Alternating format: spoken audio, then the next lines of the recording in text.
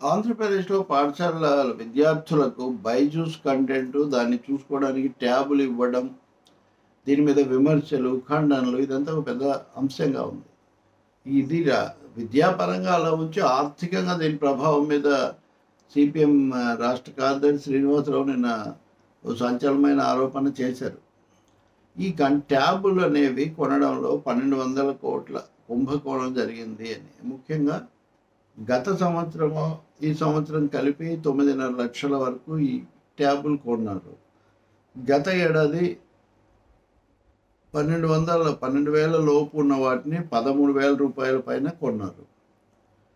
ఈ సంవత్సరం పద్నాలుగు వేలు ఉన్న వాటిని పదిహేడు వేలకు కొన్నారు. పదహారు వేలకు.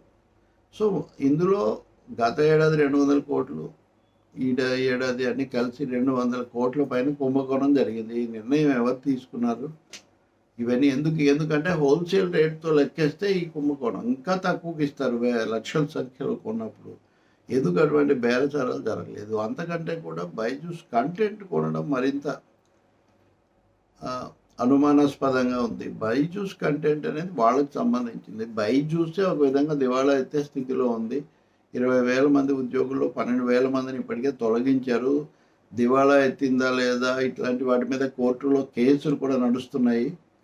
ఈ కంటెంట్ వచ్చే సంవత్సరం వాళ్ళు ఉండి అప్డేట్ చేయటం ఇవన్నీ జరుగుతాయా లేదా ఒక ప్రశ్న. ఈ కంటెంట్ కూడా వెయ్యి కోట్ల రూపాయలు ఎక్కువ పెట్టి కొన్నారు.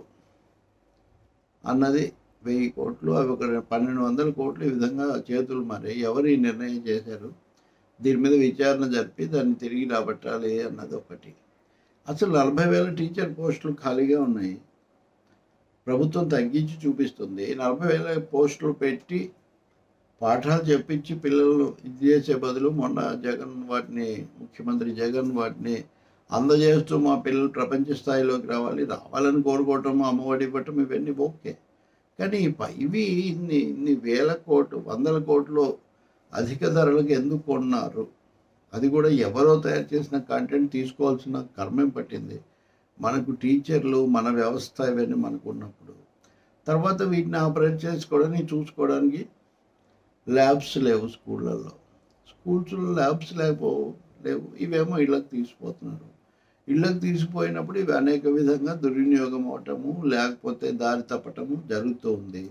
తల్లిదండ్రుల్లో ఆ విధమైన ఆవేదన వ్యక్తమవుతూ ఉంది. ఆ విషయం పత్రికలో రాశారు. రాసిన వాళ్ళను వాళ్ళకి రాజకీయ ఉద్దేశాలు ఉన్నాయి వాళ్ళకు ఉన్నాయి లేదా అది వేరే విషయం. కానీ అసలు సమస్య ఉందా లేదా అనేది ఇంకా గుర్తించుకోవాలి కదా. పిల్లలు అలవాటు పడతారు నేర్చుకుంటారు సాంకేతిక అభివృద్ధి రావాలి అవన్నీ ఓకే.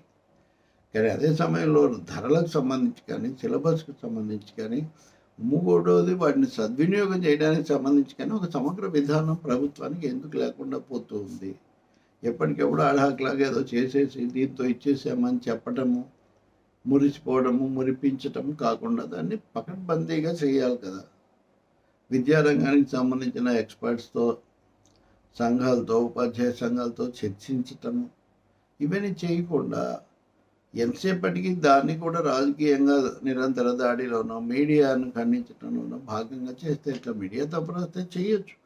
కానీ సమర్థించుకోవటమే కాదు కదా. సవరించుకోవటం కూడా అవసరం కదా. రెండవది మరి పదకొండు వందల పదకొండు వేలకు వచ్చే వాటిని ఎందుకు అంత పెట్టుకున్నారు? పదమూడు వేలకు. సమీక్షించాలి కదా. గత ఏడాది సమీక్షించకుండా ఈ ఏడాది కొత్త తరహాలో అంతకంటే ఎక్కువ పెట్టుకుంటే బైజూస్ మూతపడితే మన మీద ప్రభావం ఏంటి? మనం అంచనా వేసుకోవాలి కదా. కాబట్టి ఈ బైజూస్ వ్యవహారం చాలా ఈ కొన్న తీరు వాటిని గురించి తల్లిదండ్రుల్లో ఉన్న ఆందోళన వీటిని కథ చేయట్లేదు. ఇంకా అంగన్వాడీల సమ్మె కూడా జరుగుతూనే ఉంది. దాన్ని కూడా పరిష్కరించడానికి ప్రభుత్వం ఏమి చొరవ చూపించట్లేదు. పైగా వాళ్ళ మీద ఆరోపణలు చేయటము అపహాస్యంగా మాట్లాడటం వాళ్ళు ఆగ్రహం వ్యక్తం చేయడం అని కూడా జరుగుతున్నాయి.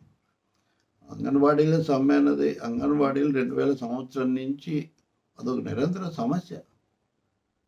ఇచ్చిన వాగ్దానం అమలు చేయమంటున్నారు. ఇలా ఆశా వర్కర్లు కూడా మళ్ళీ వాళ్ళు సమ్మె చేస్తున్నారు. మున్సిపల్ కార్మికులు కూడా గత నాలుగేళ్ళ నుంచి అడుగుతున్న వాటి కోసం సమ్మె చేస్తున్నారు. ఇవన్నీ జరిగితే రాష్ట్రం ఈ సమ్మెలతో అట్టుడిగిపోతుంది. వాటిని చూడనట్టు వాళ్ళందరూ తప్పు చేస్తున్నారు. వాళ్ళందరూ ప్రతి ప్రభుత్వానికి వ్యతిరేకం అన్నదేం లేదు. వాళ్ళు చేసి అనుకోవడం పొరపాటు. వాళ్ళు తాము చేస్తున్న పనికి జీతము గతంలో ఇచ్చిన వాగ్దానాలు కోరుతున్నారు. మరి ఇన్ని సంక్షేమ పథకాల కోసం లక్షల కోట్లు ఖర్చు పెడుతున్నప్పుడు ఉద్యోగులు అనేవాళ్ళు అసలు ప్రభుత్వానికి కళ్ళు చెవుళ్ళు అంటాడు వాళ్ళకి ఎందుకు వాళ్ళ కోరికలు తీర్చట్లేదు? అందులో వీళ్ళు చాలా మున్సిపల్ కార్మికులైనా అంగన్వాడీలు ఆశా వర్కర్లు హెల్పర్లు వీళ్ళంతా చాలా సాధారణమైన ఉద్యోగులు దిగువ స్థాయికి చెందిన వాళ్ళు ప్రభుత్వం వెంటనే వాటిని పరిష్కరించటం అన్నది చాలా చాలా అవసరం. వేతనాలు పెంచకుండా భత్యాలు కల్పించకుండా మినీ అంగన్వాడీ సెంటర్లను మెయిన్ సెంటర్లుగా మార్చకుండా పైగా మేము ఫోన్ల కింద ఖర్చు పెట్టాము. లేకపోతే అద్దెల కింద ఖర్చు పెట్టాము. వాళ్ళ కోసం పెట్టినట్టు అంగన్వాడీ సెంటర్ల కోసం పెట్టారు. అక్కడ వాడు పని చేస్తే కదా మీరు ఇవన్నీ ఉపయోగించేది. చులకనగా మాట్లాడటం మరింత తప్పు.